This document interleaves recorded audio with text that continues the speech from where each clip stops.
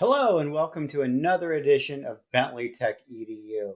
We're going to build on our previous sphere project and make another one that's got a grouping of a lot of spheres all in different colors.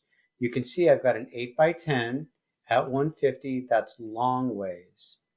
It's currently untitled.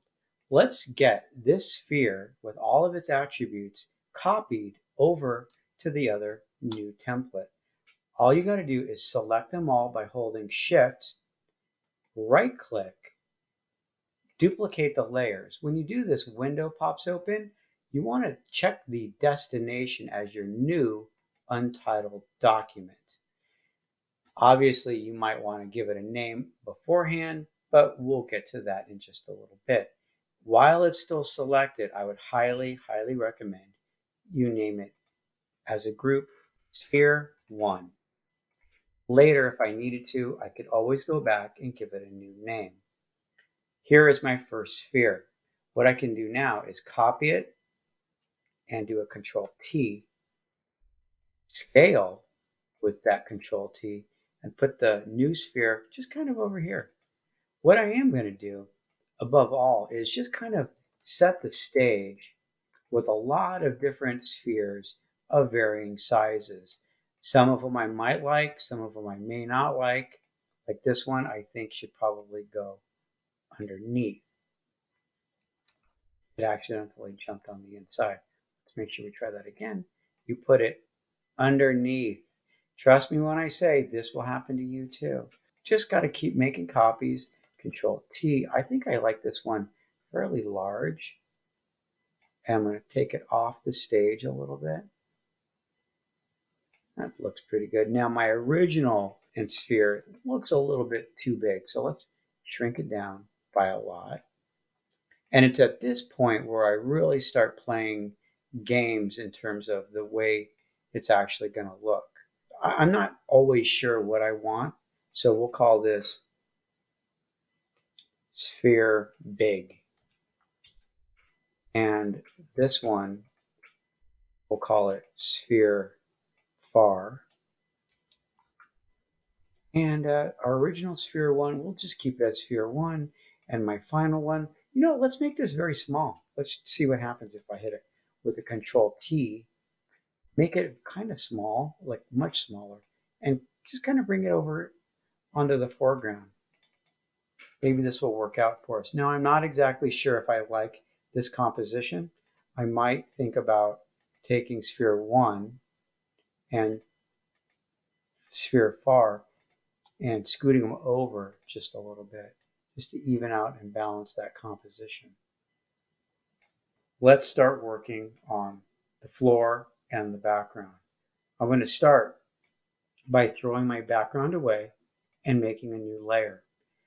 Let's put in a nice green surface, kind of like a pool table maybe, and we'll put that into the background. I'll lower it just a bit give it a nice green. I hit Alt Backspace to fill. What I would like to do is give it kind of a spotlight effect. Let's try it.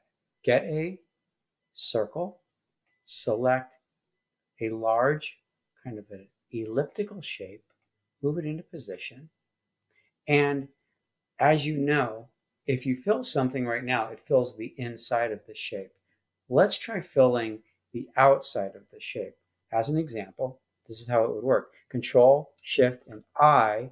Now, if I hit Alt Backspace, you can see clearly that it fills the background. But what we have not done is feathered the shape. So let's select, modify, feather 125. Now I hit Alt Backspace and it gives me a very interesting look. As you can see, the background is really messed up in terms of the actual background. I'm going to use my magic wand. I click right into the back, go right up. Now what I did is I use the green. I click with the magic wand in its transparent area. I click back up to the black layer and I hit backspace. Let's try it one more time. This time I'm going to make a new layer. I'm going to drag this piece right onto the top, scoot down. let's give it a nice background. I'm not even going to worry about the overall shape really because it's hiding behind the green. So if I was to get rid of the green, you'd see that all these elements are still there. Let's get another new layer, another fairly large circle. I'm going to position it so it looks interesting, but I don't want it to look like a classic vignette. Select, modify, feather. I'll stick with 125. I hit OK, Control Shift I to select the opposite, Alt Backspace to fill, selecting black, and Control D. If I was to wink off the black, you could see that hiding underneath it is another shape. So what I am going to do is do a Control T. I don't think I like the way that this shape looks. So what I am going to do is I'll hold Shift a little bit. I'm going to pull this right off stage and lower this down just a hair. What I'm trying to do is create kind of a movement across the shape. If I feel like there's too much color right here, just do a control T and shift to change that shape just a little bit. And now it still feels like there's light over here and it's still working. Let's pull this over just a bit. And there you go.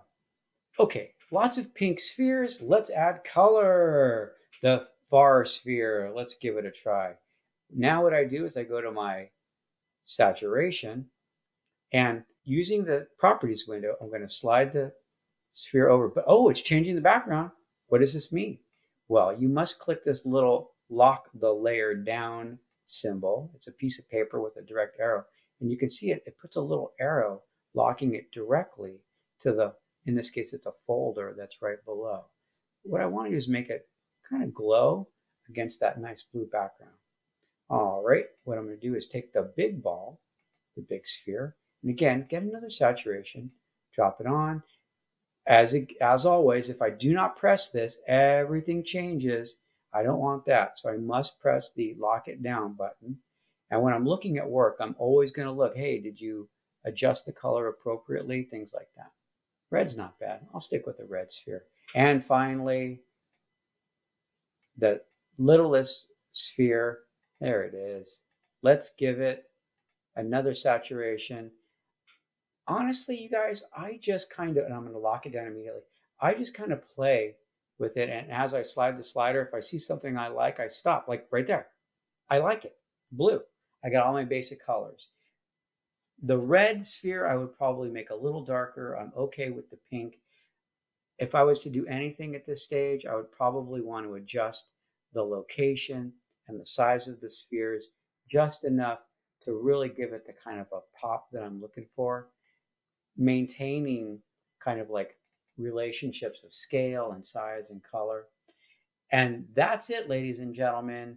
I've been able to successfully create four spheres out of one with different colors, and it looks pretty cool. That's it. I'm out of here. James Bentley for Bentley Tech EDU. Have a great day.